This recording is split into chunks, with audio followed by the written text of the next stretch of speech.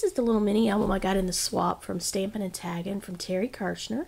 Um, try to get this all in frame. Um, cute little beach theme, catching some waves and soaking up the rays. And then when you open it, there's a pocket to put some things, some pictures in here. And there's this this little scene here. It's really cute. And then there's this one, more beach um, items. And then here's page. And another. And more beachy type things. And oh, sorry guys. I'm trying to do this a different way than I normally do my videos and it may not be working so well. And then the last page. Thanks Terry. It was very cute and I love it. Can't wait to put some stuff in it